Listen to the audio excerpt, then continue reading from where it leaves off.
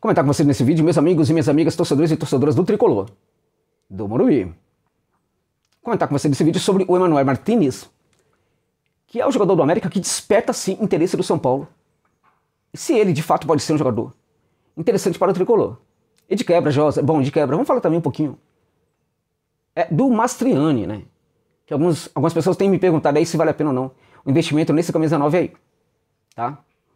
Vamos lá, antes disso, só chamar sua atenção para o patrocinador desse canal aqui, né, gente? É, eu preciso, né? Que é a OneXBet, né? A OneXBet. Já tem a OneXBet? É, José, já sou cadastrado lá. Beleza, usando seu link. Beleza. Então tranquilo, só, é, só cuide de fazer o joguinho de hoje que eu vou dar uma dica para você daqui a pouquinho. Caso você queira realmente fazer uma aposta. Esqueça todas elas e se ligue no joguinho que eu vou falar para você hoje aqui, porque ontem deu certo, hein? Ontem, olha, funcionou muito bem. A dica que eu dei aí para vocês. Né? Então, a XBet, se você não é, não é inscrito, use o link que está na descrição desse vídeo e também no comentário fixado para você se cadastrar no XBet, gente. Uma casa de aposta aí, acima de qualquer suspeita, né? É a mais confiável do universo, do planeta Terra, da galáxia, né? A XBet. No entanto, é gigantona, mas trata você como consumidor, trata você com todo o respeito do mundo. As cotas também são sempre muito altas. Estamos falando de uma casa de apostas que patrocina inúmeras equipes aí no futebol mundial, gigantescas como Liverpool, Barcelona e tudo mais. Ah, então você quer apostar, você quer apostar numa casa de apostas qualquer aí, é que de repente você nem sabe se vai gastar dinheiro. Ah, meu irmão, deixa de lá essa parada aí e vai apostar na OneXBet, que é lá que você vai ganhar um dinheiro bom, nunca vai ter problema ali é, com, com seus ganhos. Beleza, gente? Use o link que está na descrição desse vídeo e no comentário fixado para se cadastrar no OneXBet.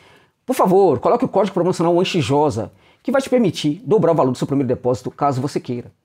Beleza? E também vai notificar para eles que vale a pena investir aqui nesse canal, porque você chegou lá a partir da minha dica aqui. Beleza? E qual é a dica, Josa? Meu irmão, a dica hoje é o seguinte: deixa tudo de lado aí e se liga em um jogo. Que foi o que eu falei ontem. Deixa de lado e se ligue no jogo, né? Do ABC contra o Mirassol. Pela condição do ABC, pela forma como o ABC joga, vai ter gol nesse jogo. Né? E eu falei, olha, vai ter no mínimo dois gols aí. Mas eu acho também que você pode até, se você quiser, colocar empate e vitória do Mirassol. Né? Então um amigo aí ganhou mais de 3 mil reais aí com essa aposta aí.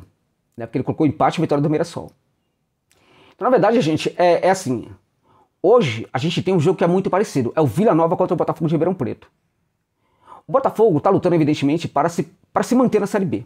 Ganhar calosidade e tentar crescer um pouco mais para aspirar uma, um acesso à Série A uh, em 2024 ou 2025.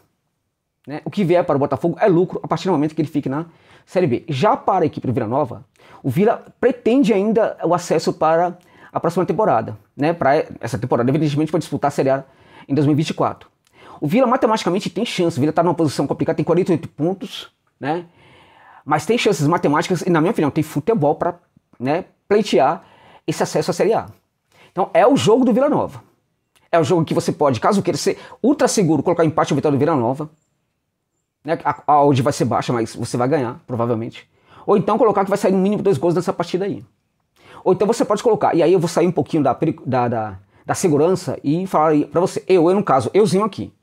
Mas você tem que avaliar. Euzinho iria na vitória do Vila. Raramente eu faço isso, mas hoje eu faria. Então fica a dica para você aí sobre essa, essa, essa, essa aposta de hoje, beleza, gente? Ah, esqueça as outras apostas. Concentre-se nessa daí, porque vai ter muito dinheiro envolvido nesse jogo aí, beleza? Fechando parênteses e voltando aqui a falar do São Paulo e do Emanuel Martinez. Gente, há muito tempo que eu falo do Emanuel Martinez. Há uns quatro anos que eu falo desse jogador. Que ele deveria vir para o futebol brasileiro. E aí, nada. Até que ele foi para o Barcelona. Já estava jogando muita bola no Deportivo Cuenca, do Equador. Ele chega no Barcelona, vira um dos melhores jogadores de meio de campo do futebol equatoriano. Lá no Barcelona jogava um pouco mais como segundo, como é, é, segundo homem de meio de campo, né? Porque você tem ali ah, um outro jogador, um outro camisa 10 argentino muito bom, né? Já veterano, mas excelente. E ele atuava ali como segundo homem de meio de campo, né? O Emmanuel Martins pode fazer o trabalho de segundo homem de meio de campo, é, perfeitamente. Ele pode trabalhar pelo lado do campo, tá? Ele pode trabalhar pelo lado esquerdo, pelo lado direito. É um jogador que tem ali uma capacidade é, muito grande de é, trocar é, sempre de lado, né? No lado direito, aquele caso que ele vai mais ao fundo do campo. E aí, gente, é importante deixar isso claro. Né? Quando ele vai ao fundo do campo, aí ele mostra que ele é diferente, né? Porque qual é a armadilha em que todo jogador, rapidinho, que chega ao fundo do campo, ele costuma cair? Em qual armadilha? Armadilha de cruzar de qualquer jeito. Então ele acha que já fez tudo de bom, né? Porque ele conseguiu chegar até o final do campo ali, ninguém tirou a bola dele, tal, não sei o quê. E aí, como ele acha que já fez todo o trabalho que ele precisava, ele cruza de qualquer jeito. Não é o que acontece com o Manuel Martins. Ele é um jogador que ele sabe perfeitamente o que vai fazer antes de chegar ali de fundo. Já está tudo desenhado na cabeça dele. E muitas vezes, esse passe que ele dá, esse cruzamento que ele dá, é por baixo, é rasteiro e é para trás. Né? Algumas vezes também é essa bola aí por, por elevação, que funciona muito bem. Razão pela qual ele se torna, é, tem, é, se tornou no, no futebol equatoriano, equatoriano, durante um bom tempo um dos grandes assistentes ou pré-assistentes ali do, do, futebol daquele país. E é, é hoje um jogador com o qual a América não pode deixar de contar. Então esse América que pode ir para a Série B, né, provavelmente vai para a Série B, é, ainda assim, nesse América, o Martins está jogando um absurdo. Né? Então ele pode atuar também pelo setor esquerdo. E aí é aquele cara que, evidentemente, quando chegar perto da área, vai fazer o facão, né? Vai buscar o facão para ter uma situação mais oportuna para né, fazer uma assistência ou então para arrematar para o gol. O Emmanuel Martins é um jogador de, de passe curto, toca, toca meu boi, passa e se apresenta para receber. É um jogador que também tem um passe médio interessante. É um jogador que tem um passe longo que, na minha opinião, precisa melhorar um pouquinho, né? Mas na maior parte das vezes funciona, tá? Como a qualidade do passe médio dele curto são, é, é, é, em ambos os casos a gente está falando de muita qualidade, então acho que tem que evoluir na questão do passe mais longo. Mas o, o que é mais importante no Manuel Martins é a leitura de jogo dele. E essa leitura que é assim primorosa o leva a ter um posicionamento muito bom dentro de campo. Do que, que eu estou falando? Eu estou falando de um jogador que sabe atuar muito sem a bola. Parece brincadeira isso, né? O cara bom de bola que atua sem a bola, né? É isso mesmo. Hoje no futebol isso é vital, gente. Isso é essencial. É algo que o, com que o Guardiola se preocupa todos os dias da vida dele. Fazer o jogador ter um ótimo posicionamento quando ele não tem a bola. O Emmanuel Martins é esse jogador. E nesse sentido, é, a partir do posicionamento dele dentro de campo, da ocupação de um ou outro espaço, é, da locomoção que ele faz ali dentro de campo, daquela corrida diagonal que muitas vezes ele pratica, né, ele muda muita coisa dentro de campo. Ele também acaba mudando o posicionamento de outros jogadores. E essa mudança, a gente percebe, ela, ela é sempre muito, muito interessante, ela é sempre um movimento que faz muito bem para a equipe. Tanto é que quando o Emmanuel Martinez não está jogando no América, a equipe sente uma falta dele. Parece que, parece que perdeu a alma a equipe do América. Entende? Perdeu completamente a alma. Então eu tô falando de um jogador que não é craque, né? Tá aí com 28 para 29 anos, 29 anos na verdade, né? 29 anos de idade, mas é um jogador que sabe muito bem o que fazer de campo e é um jogador daquela linha que eu falei para vocês ontem no vídeo sobre o Messa e sobre ah, o Jorginho, né? É mais um jogador daquela linha de encorpa equipe. Encorpa equipe. Quando você tem jogadores assim, um ou dois jogadores assim na equipe, você pode até não ter craque, que a equipe vai realmente mandar muito bem. O Emmanuel Martins é um jogador que encorpa equipe, é um jogador barato, jogador que não tem problema ficar na reserva, né? é um jogador que tem esse entendimento, tem essa maturidade, né? então vai contribuir muito para o elenco do São Paulo caso o São Paulo consiga contratar. É, é um jogador necessário para o São Paulo. O Josa, é Ramos ou. Neste momento é o Emmanuel Martins, por exemplo. Né? Que o Ramos parece que não está funcionando muito bem. Eu não sei como é que tá a cabeça dele, já me falaram coisas aí e tal. Tô perguntando todo dia pra, pra gente na Colômbia sobre o Rames, para saber o que, que tá acontecendo, né? Então, na verdade, gente, eu sei até um pouquinho, mas enfim, deixa isso pra lá.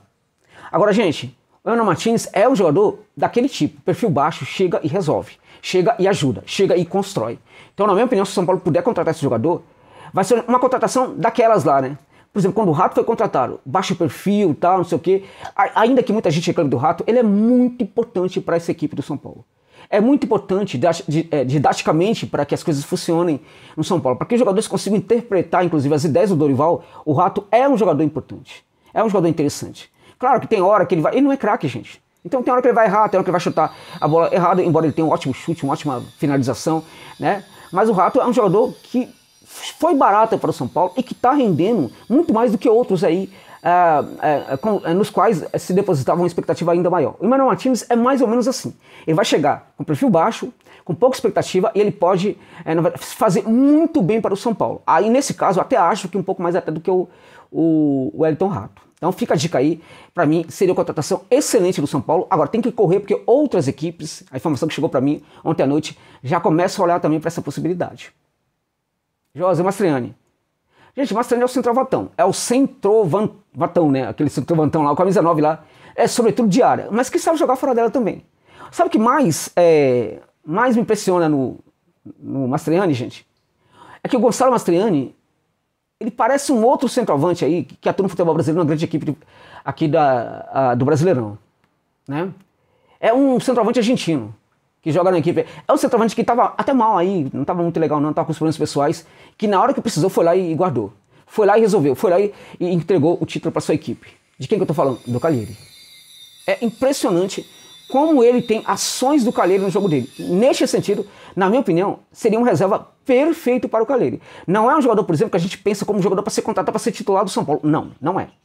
Né? Não é. Pode até ser construído, mas ele ainda não é necessariamente esse jogador. Mas ele é sim um excelente reserva para o Caleri. Até mesmo em virtude de que ele entende que o Caleri é muito melhor que ele e vai ser titular mesmo, e aí não vai ter, vai ter felicidade, mesmo sentado no banco de reservas do São Paulo.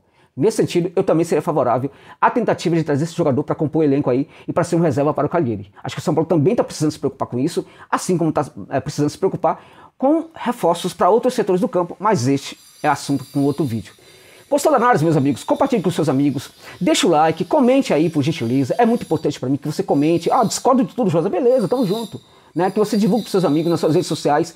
Se curtiu muito e acha que eu mereço, por favor, deixa aí um valeu demais, que você não tem noção de como isso é importante para o meu trabalho. Você não tem noção. Ah, Josa, mas eu mandei só um real. Meu amigo, você não tem noção de como isso é importante para o meu trabalho. Então, se puder, deixa aí um valor aí é, de um real, de um milhão de real, o que você quiser aí, para a gente, para que a gente continue fazendo esse trabalho brilhante aqui, que eu presumo brilhante, mas que muita gente fala que é aqui no canal Josa Novales. Beleza, gente?